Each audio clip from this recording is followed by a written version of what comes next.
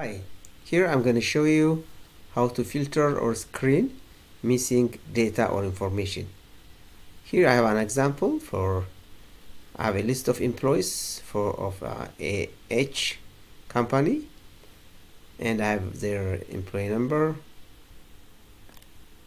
their name, education, position and salary.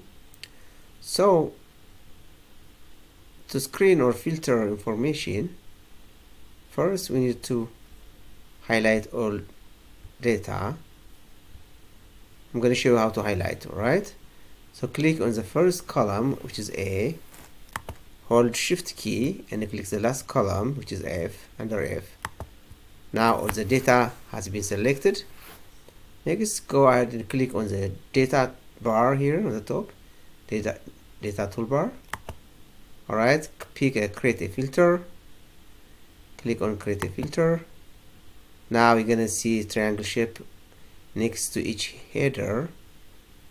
I'm interested to find out if um, any missing salary um, if I see if there is any missing salary.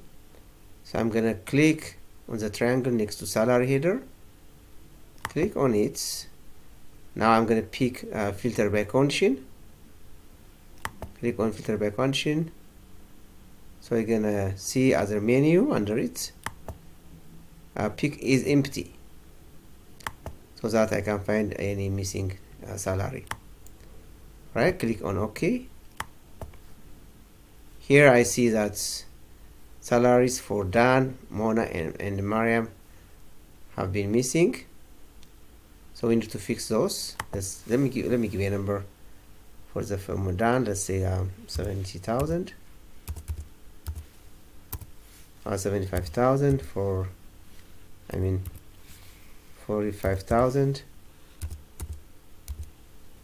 for Mona. And for Mariam let's say uh, 65,000 alright just random number.